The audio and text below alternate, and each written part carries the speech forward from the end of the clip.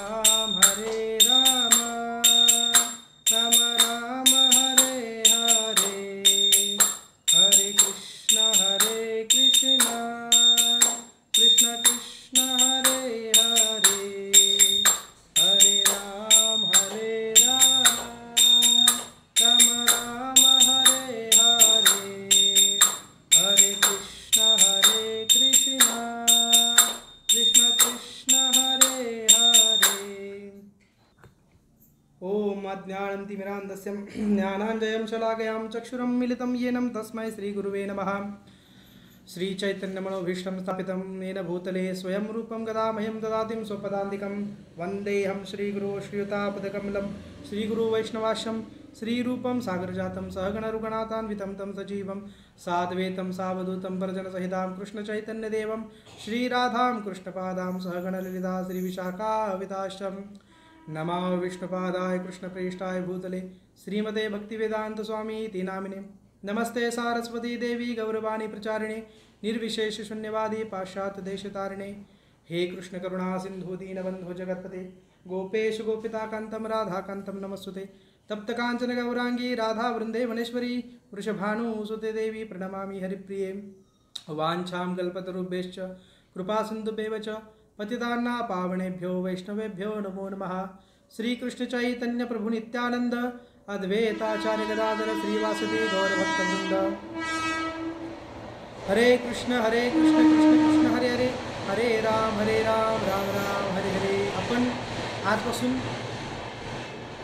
भगवद्गीता म्हणजे भगवंताची सांगितलेली वाणी आजपासून आपण ऐकणार आहोत. वाणी म्हणजे काय? भगवत म्हणजे काय? भगवत म्हणजे स्वतः श्रीकृष्ण भगवान.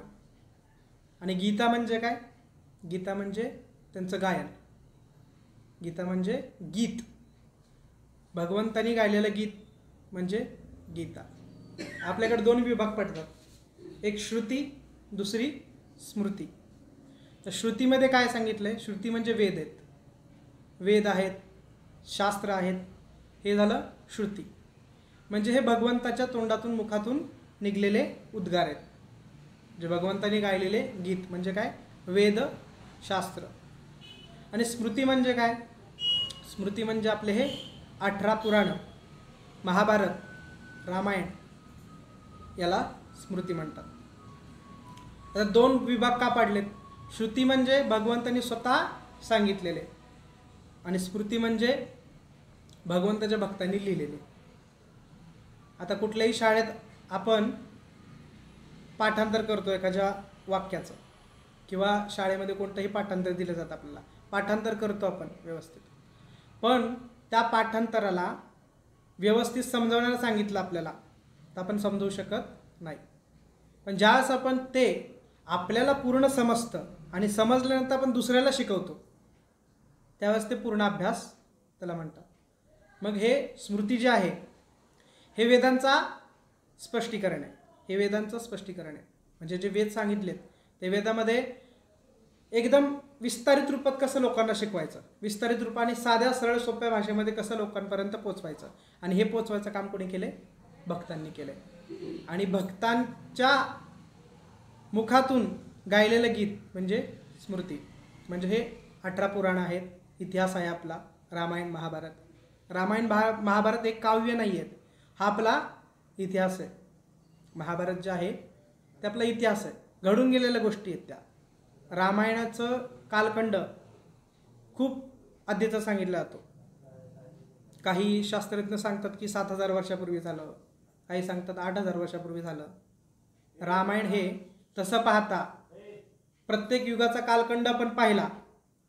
तर त्या कालखंडानुसार रामायण हे कमीत कमी सोळा ते सतरा लाख वर्षापूर्वी झालेलं इतिहास आहे आपला.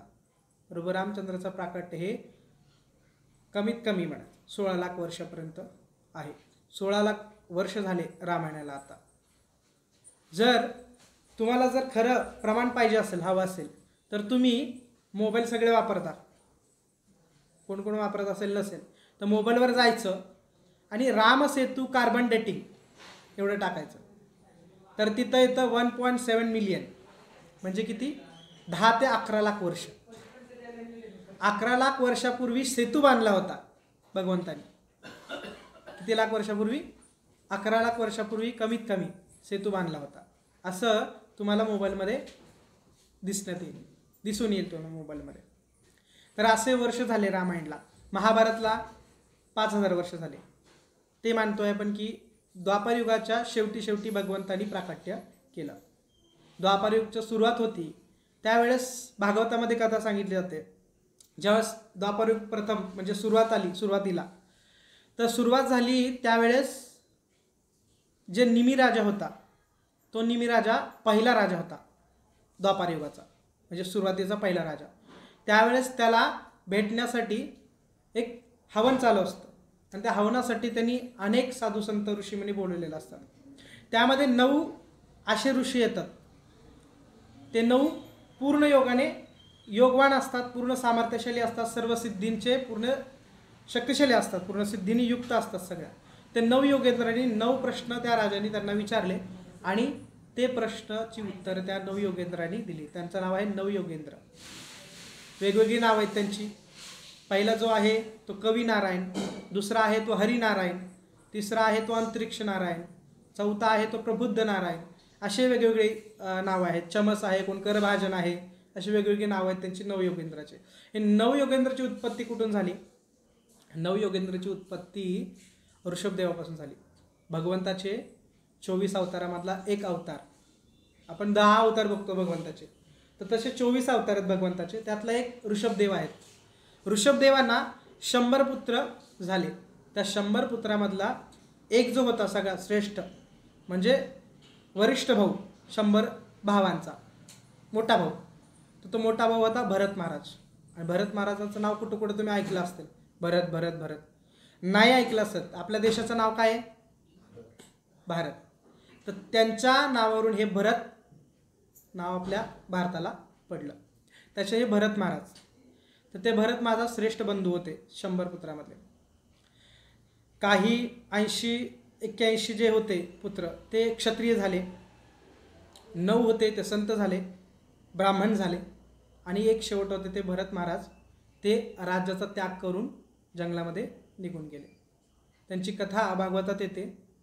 ती अशी की ज्यावेळेस भरत महाराज सर्वांचा त्याग करून जंगलामध्ये गेले का? तर भगवंताची भक्ती करण्यासाठी त्यांना अडचण येत होती. आपण ज्या समाजामध्ये राहतो तर आपल्याला खूप अडचणी असतात भक्ती करण्यासाठी. सगळ्यात जास्त चॅलेंजिंग वर्क काय असेल तर समाजामध्ये राहून भक्ती करणं. सगळ्यात मोठं कठीण आहे. भक्ती करता येत नाही. भक्ती केली तर दहा जणांच्या आपल्याला टोमणे ऐकावे लागतात. दहा जण आपल्याला बोलतात.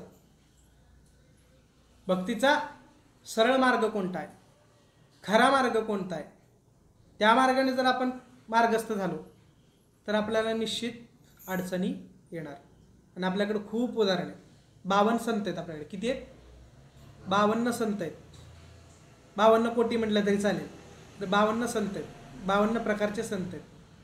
प्रकारचे काय म्हणतात? कारण विविध जातीतले आणि त्यांनी सिद्ध करून दाखवलं की आम्ही जातीने नाहो नाही तर कर्माने आम्ही शुद्ध आहोत. कर्माने आम्ही वैष्णव आहोत आणि कर्माने आम्ही आम्ही ब्राह्मण आहोत. हे त्यांनी दाखवून दिलं. त्यांच्या भक्तीच्या जोरावर. आणि त्यांना कितीतरी त्रास सहन करावे लागले असं तुम्ही ऐकलेच असतील. तुकाराम महाराजांना किती त्रास करावे लागले? ज्ञानेश्वर महाराजांना किती त्रास सहन करावा लागलं? तर असे बरेचसे संत आहेत आपल्या महाराष्ट्रामध्ये. त्यांना त्रास सहन करावा लागला. त्यांची उदाहरणं आपल्याला दिली जातात. महाराष्ट्रात आपण राहतोय. तर आपल्याला त्यांची उदाहरणं माहीत हवीत. लहान लहान मुलांना माहीत हवं महाराष्ट्रातल्या. निदान आपल्या संतांबद्दल तरी. एकनाथ महाराज आहे परत तुकाराम महाराज आहेत नामदेव महाराज आहेत यांनी काय केलं? निदान आपण गुगलवर गेम्स वगैरे खेळण्यापेक्षा हे गुगलवर सर्च करा तुम्ही मुलांना. संत तुकाराम कोण होते? तर त्यांचं तुम्हाला पूर्ण येईल. आणि त्यांचा जन्म कधी झाला? हे पण सगळं लिहून येतं. त्यांचं सगळं चरित्र त्यांचे अभंग हे सगळं तुम्हाला ऐकायला भेटेल.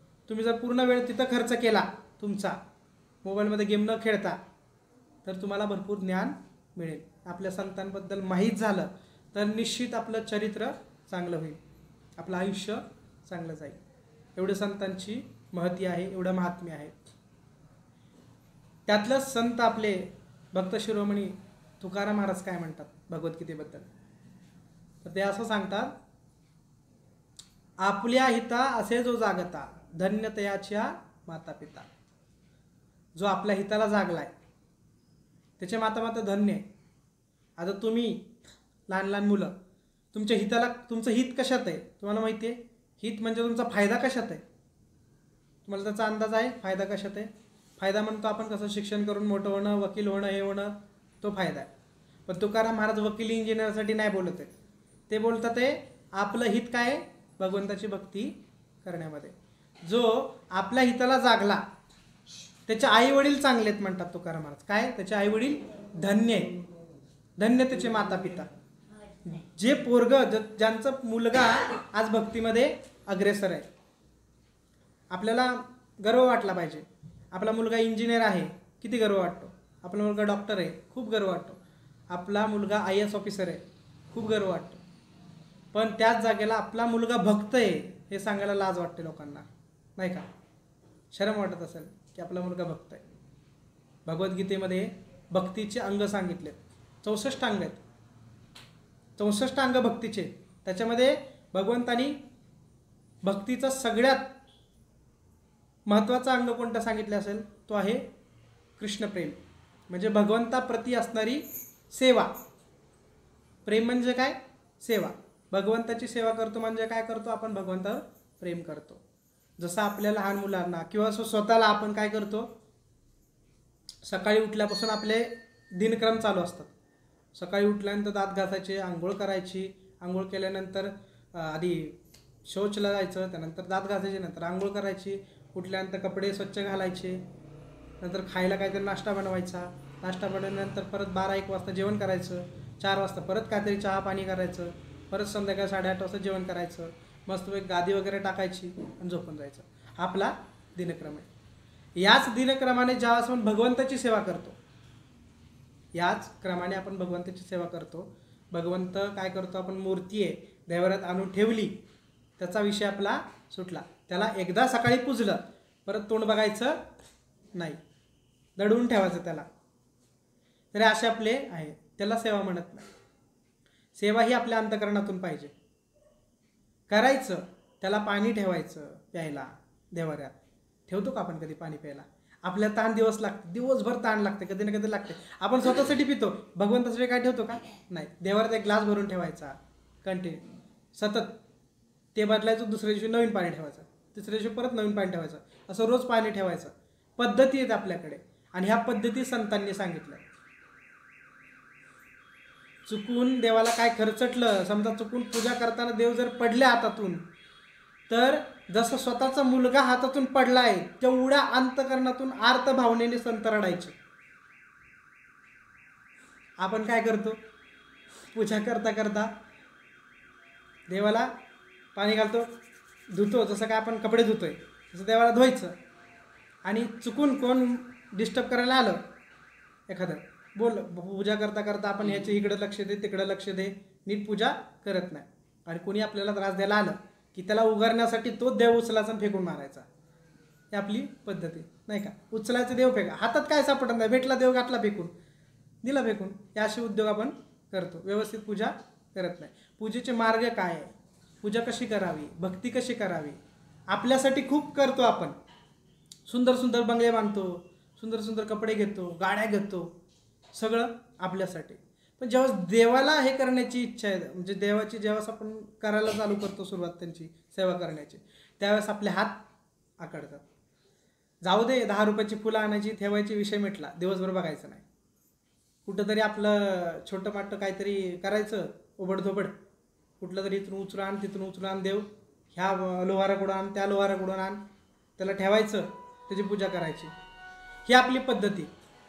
देवासाठी करायचं म्हटलं की आपले हात आकडतात. संत सांगतात की तुम्ही झोपडपट्टीत राहा. तुम्ही खायला शिळी भाकरी खा पण भगवंतासाठी पंचपक्वान द्यायचं नैवेद्य म्हणून. काय? भगवंतासाठी पंचपक्वान द्या तुम्ही झोपडपट्टीत राहा तुम्ही काही करा. तुम्ही स्वतःला काहीच करू नका पण भगवंतासाठी आलिशान मंदिर पाहिजे. असं मंदिर की त्या भगवंताला वाटलं की आपण खरंच वैकुंठात आहे आता सध्या पण. भगवंत वैकुंठ सोडून त्यासाठी येत नाही काय येत नाही भगवंत भेटायला आपल्याला? त्याचं कारण हे की आपण त्यांच्यासाठी घरच बांधत नाही व्यवस्थित.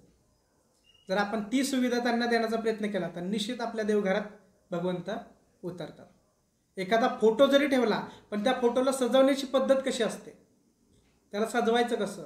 त्याचा शृंगार कसा करायचा? फोटोचा पण शृंगार असतो.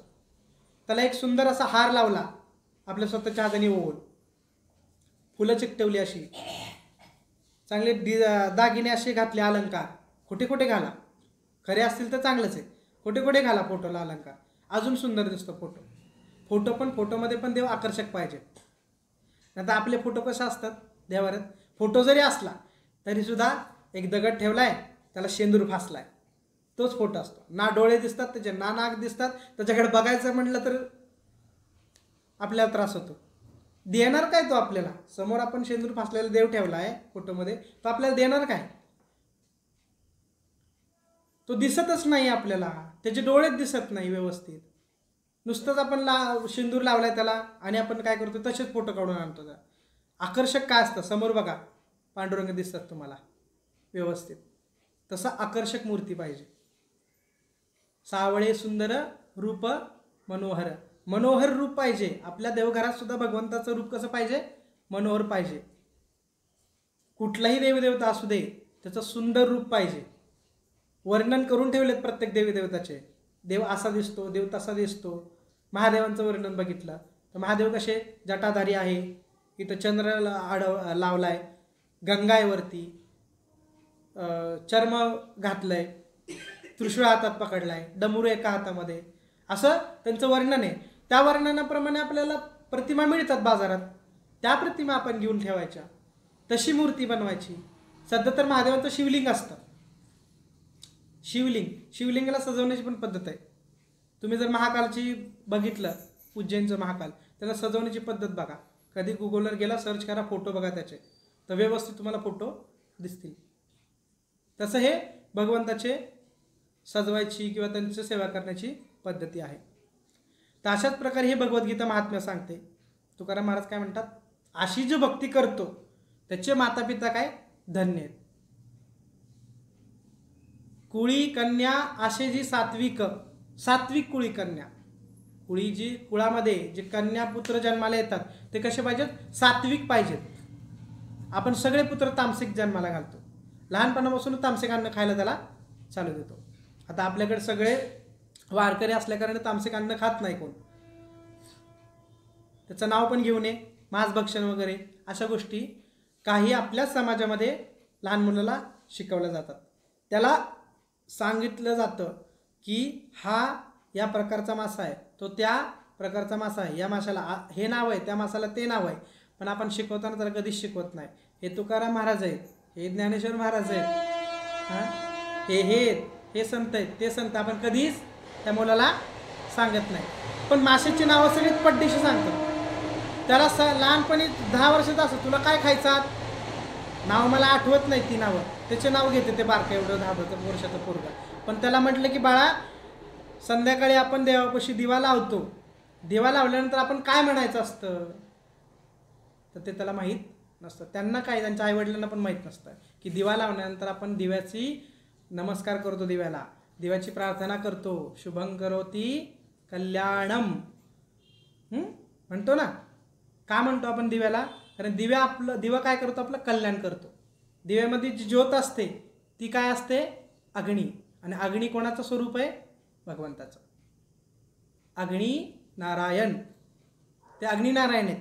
मग त्याच्याकडे आपण काय मागतो? कल्याण कर. त्याच्यामध्ये एवढं सुंदर कोणी रचना केली काय माहीत नाही. पण त्याच्यामध्ये एवढं सुंदर केलं आहे की स्वतःचं तर ठीक आहे पण दुसऱ्याचं पण कल्याण कर. आपण काय म्हणतो? दुसऱ्याचं कल्याण कर. घरची पिढा बाहेर जाऊ दे बाहेरची लक्ष्मी घरात येऊ दे आणि घरच्या धन्याला उदंड आयुष्य मिळू दे. घरचा धनी कोण? आपले आई वडील आणि त्याबरोबर जगाचा उद्धार होऊ दे. हे आपल्या शुभंकरूमध्ये आपण मागतो. आपल्याला माहीतच नाही. आपण शुभंकरू म्हणतो. आपल्याला माहीतच नाही की त्याचं काय मा- इच्छा काय आपली? ते काय सांगतं एवढं शुभंकरवरती ते हे सगळ्यांचं कल्याण माझ्याबरोबर सगळ्यांचं कल्याण हो ही जी मागण्याची पद्धत आहे ती फक्त संतांमध्ये असते. हा जो गुण असतो माझ्यासाठी काय नको लोकांसाठी मागतो. सगळे संत जे आपले ते सगळे जनतेसाठीच मागितलं भगवंताला. स्वतःसाठी काहीच मागितलं नाही. म्हणून आपले एक एक श्लोक जे असतात ते हेच आपल्याला ज्ञान द्यायचं कार्य करतात. सात्विक पुत्र सांगितलं तुकाराम महाराजांनी. सात्विक पुत्र जो असेल तो अशा प्रकारचा. तर तो पुत्र काय आहे? त्याचा हरिक वाटे देवा. हरिक म्हणजे काय आनंद वाटतो. देवाला आनंद वाटतो भगवंताला आनंद वाटतो. आपल्या घरामध्ये लहानपणापासून तो पोरगा पोरगा एवढी एवढीशी पोरं आहेत आता तुम्ही पाहिले असतील नसतील अमेरिकेमध्ये आपल्यातली नाहीत लहान लहान पोरं हे चेवडे चेवडे चेवडे असे छोटी छोटी छोटी छोटी पोरं आहेत. ते हातामध्ये अशी बिडबॅग घेतात आणि हरे कृष्णा हरे बोबड्या भाषेने बोलतात. हले कृष्णा हले कृष्णा कृष्ण कृष्ण हली हली हली लाम हली लाम लाम लाम हली हली असं म्हणतात ती छोटी छोटी पोरं. जप करतात. एक एक माळा दोन दोन माळा. हातामध्ये त्यांच्या पिशवी असते. एवढी एवढीशी पोरं. दोन वर्षाची तीन वर्षाची. आपल्याकडे मोठ्या माणसाच्या हातात दिसत नाही कधी. लहान मुलांच्या कधी दिसणार. ही संस्कृती आपली आहे. आता बाहेरचे लोक आपल्याला शिकवतात आहे आपल्याला खरंच शरम वाटली पाहिजे. बाहेरची गोरी गोरी पोरं छोटी छोटी ज्यांना मराठीचं म माहीत नाही संस्कृतचं स माहीत नाही ती मुलं आज संस्कृतचे श्लोक म्हणतात आहे. ती लोक जप करतात आहे ती लोक भगवंताची व्यवस्थित सेवा करतात आहे छोटी छोटी पोरं. ते बाहेरच्या देशात. आपल्या देशात काही संबंध नाही. आपला दूर दूर तक त्याचा संबंध नाही. कोणता देव कोणती भक्ती कोणतं काय आपला काही संबंध नाही त्याच्याशी आपण काय? आपण चंद्रावरून आलो आहे तेव्हा आपला काही संबंध नाही. मंगळावरून आलो आहे आपण. आपला काही संबंध नाही त्याच्याशी. तर सगळा संबंध बाहेरच्या देशातल्या लोकांसाठी. आपल्यासाठी काहीही नाही आहे सांगण्याचा उद्देश आहे की भगवंताला सुद्धा आनंद वाटतो. कशाचा? की आपण ज्यावेळेस भगवंताची भक्ती करतो किंवा एक सात्विक पुत्र सात्विक सत्वगुण काय सांगितलं आहे तामसिक पदार्थ आपल्याला पूर्ण सोडायचे आहेत. तिखट चमचमीत खारट आंबट गोड जास्ती गोड पण खाऊ नये माणसाने. तो पण सामसिक पदार्थामध्ये मोडतं. तिखट तर अजिबात खाऊ नये. वरतून खाल्लं आणि खाली आग झाली असलं अजिबात खाऊ नये. असं एवढं खाऊ नये तर असं तामसिक पदार्थ आपल्याला सोडले पाहिजेत. शाकाहारी पदार्थामध्ये सुद्धा तामसिक पदार्थ आहेत. शाकाहारीमध्ये पण आपल्याकडे तामसिक पदार्थ आहेत. त्यामध्ये पहिला पदार्थ येतो राहू केतू. त्याला मी राहू केतू म्हणतो थोडक्यात. कारण की आपल्या कुंडलीमध्ये आपल्या जन्मकुंडलीमध्ये राहुकेतू असतात आणि ते खूप त्रास देतात. आणि ते राहुकेतू त्यांना प्रकट व्हायचं असेल पृथ्वीवर तर ते कशामध्ये प्रकट होतात? कांदा लसणामध्ये. राहुकेतू कशामध्ये प्रकट होतात? त्यांचं शरीर रूप कुठं येते त्यांना एक शरीर आहे. वनस्पती आहे ना? वनस्पती म्हणजे काय? जीव. मग कांदा लसूण कसा होतो? जमिनीतून बाहेर येतो आणि तो वाढत वाढत पुढे जातो. वरती वरती वरती उरतो. ज्यावेळेस पण त्याला कापतो तेव्हाच तो मरून जातो. पण त्याच्यात एक जीव आहे ना? त्याशिवाय ते वाढतंय का? नाही. मग कांदा लसणामध्ये त्यांनी स्वतःचं स्वारप्य म्हणजे त्यांचं रूप प्रदर्शित केले त्यांनी.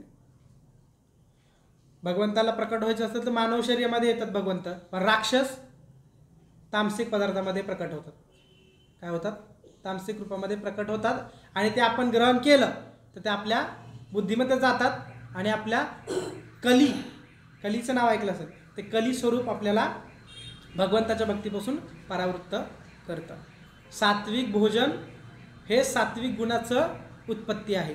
सात्विक गुणाची उत्पत्ती काय सत्व भोजन. सात्विक भोजन. म्हणून असे जे पुत्र आहेत ते सात्विक पाहिजेत. त्यावेळेस भगवंताला पांडुरंगाला आनंद होतो. देवाला जेव्हा आनंद होतो केव्हा आनंद होतो? ज्यावेळेस आपले पुत्र सात्विक असतात. मग आपले पुत्र सात्विक बनवणं आपल्या हातात आहे. शुद्ध साधं जेवण द्यायचं लहान आहे तो वरण भात द्या. वरण भातामध्ये थोडंसं तूप टाका आणि सुंदर जेवण द्या त्याला. सगळ्यात शास्त्रज्ञ पण भरपूर लोकांनी संशोधन केले की सगळ्यात सात्विक भोजन कोणतं असेल? तर ते वरण भात सांगितलेलं आहे. वरण भात सगळ्यात सात्विक आहेत. लहान सगळी मुलं वरण भात खाऊन खाऊनच मोठे झालेले आहेत. कधी कधी बघितलंय का? दोन वर्षाचा मुलगा आहे किंवा एक वर्षाचा मुलगा आहे त्याला बळजबरी अवश्य आपण बर्गर घेतला पिझ्झा बर्गर कोंबला त्याच्या तोंडात. झालं झाले का सर नाही. असे मस्त चमचमीत तेल तेलावर तरंगणारे भजे घेतलेत तोंडात टाकलेत. अन्नप्राशन करताना आपण भजे घालतो का? अन्नप्राशन करताना आपण काय तिकडे घालतो का त्याच्या तोंडात? नाही अन्नप्राशन करताना सात्विक अन्न त्याला खायला घालतो. अन्नप्राशन संस्कार आहेत. पहिलं अन्न त्याने खाल्लं. इतके इतके दिवस तो काय करत होता? आईचं दूध पित होता. आणि तो मोठा झाला तेव्हा त्याला पहिलं अन्न दिलं जातं. तर ते अन्न सात्विकच दिलं जातं. असे ते सात्विक. असा जो सात्विक मुलगा आहे किंवा माझी मुलगी आहे ती काय भगवंतासाठी आनंद आहे. तुमच्या घरी सात्विक मुलगा जन्मला तो सात्विक आहे हे भगवंतवरती कीर्तन करत असतात अरे वा एक भक्त जन्मला.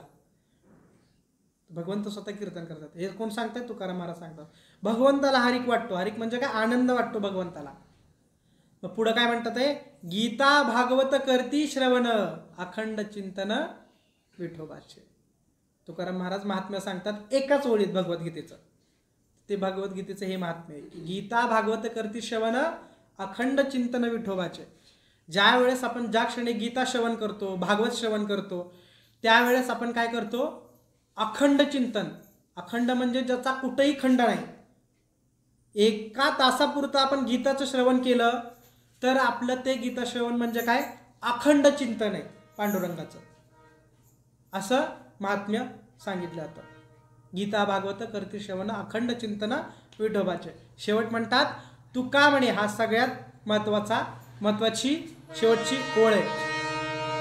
आता तुकाराम महाराजांनी काय काय अर्पण केलं? खूप अर्पण केलं. पहिल्यांदा काय अर्पण केलं?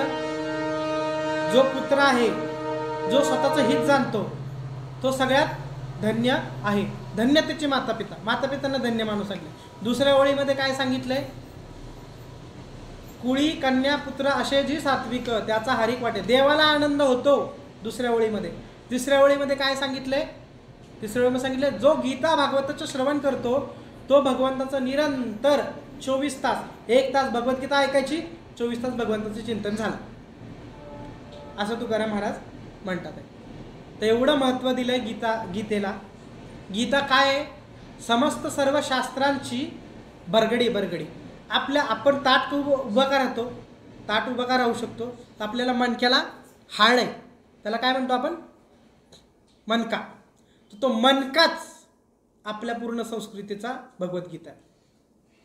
रीड की हड्डी म्हणतो ना आपण ती हड्डी जी आहे ती हड्डी म्हणजेच गीता आहे. मेन जे साचा आहे आपला ढाचा तर ढाचा फक्त फक्त ह्याच्यावर पूर्ण शरीर आपलं मागच्या पाट्यावर मणक्यावर अवलंबून असतं. ज- त्याच्यावर हे असतं टिकलेलं. तर ती टिकलेलं पूर्ण शास्त्र जे आहे शरीर आहे त्या शरीराचे हा मूळ मनका कोण आहे? भगवद्गीता आहे. जर मनका वाकला तर पूर्ण धर्म ढासळला. म्हणून गीताचा प्रचार आपला चालला एवढा. गीता का घेतली आपण? त्यासाठी घेतली आहे. गीते गीतेमध्ये नक्की काय दिलंय? माहिती आहे? सांगितलं. इकडे तिकडे ऐकलं की गीता सगळ्यात महान ग्रंथ आहे. पण तो का आहे? त्याच्यामधून आपण काय घेतलं? काय घेतलं का आपण त्याच्यातून? फक्तच लोक सांगतात म्हणून आपण ऐकायचं. व्यवस्थित स्वतः तरी वाचलं आपण? नाही वाचलं.